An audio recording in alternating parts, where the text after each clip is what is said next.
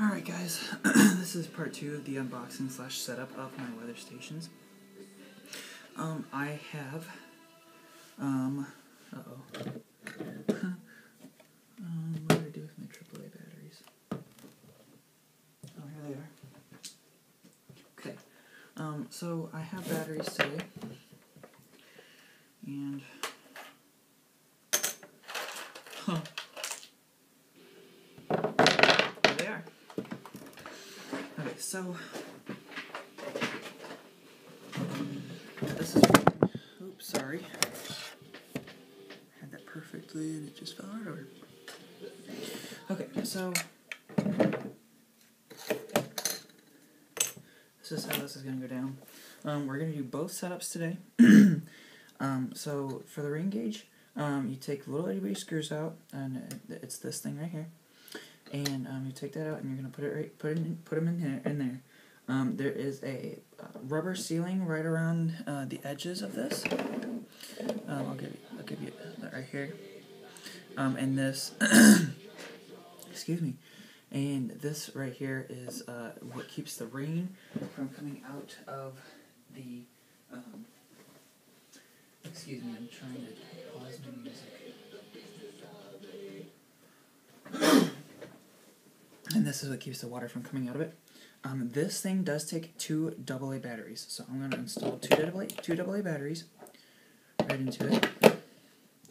We're going to screw it right back in,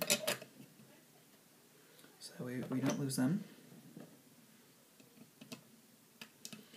Now, again, do please make sure that when you're installing this, you don't take the rubber sealing out of it, or else then this um, rain gauge will be ruined on the first rain event that you have it, that you operate it with. Um, also, um, note that uh, um, this is a also very delicate unit.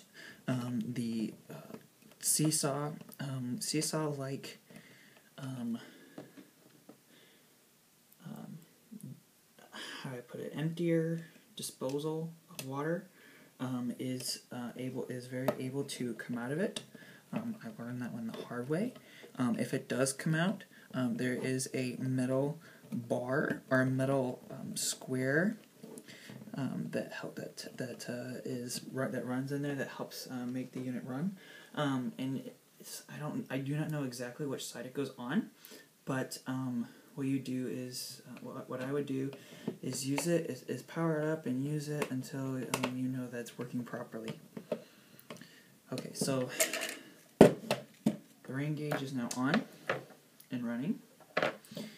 And we are now um, going to install the batteries to the base unit.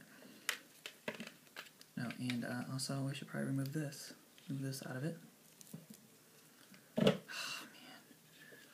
here we go. Power comes right on. Um, then uh, it will start searching.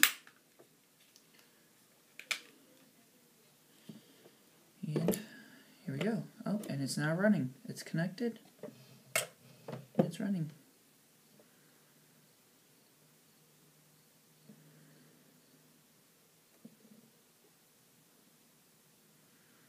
Now I do wonder how long it does take to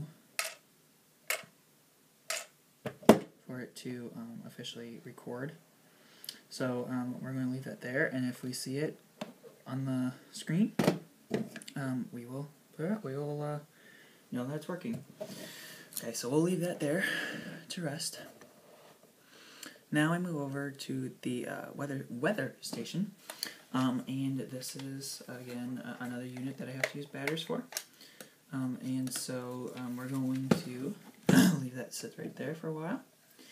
We're going to install the batteries into the transmitter first. You always install the batteries into the transmitter um, before you, before you install batteries into the receiver.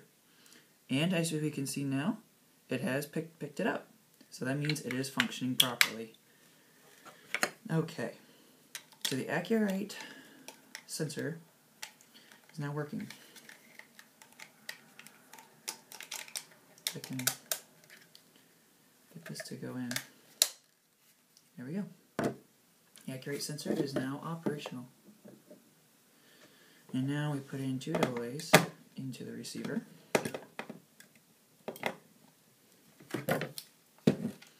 Let's uh, take off this paper. Okay, and here it goes. Oh, stupid. There it goes.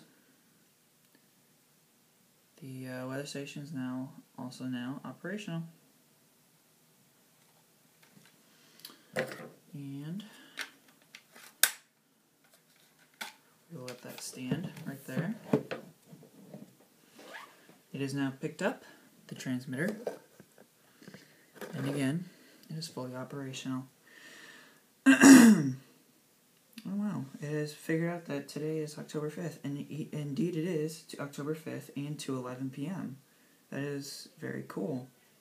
Um, what is, let's see here, is this, okay good, it's right there.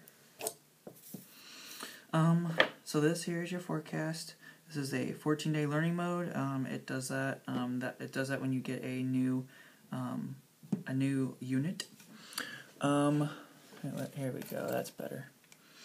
And this is your pressure history um, graph, moon phase and current pressure. So um, yeah, it looks like we have set up everything that we need have needed to set up. So thanks for watching and have a good one.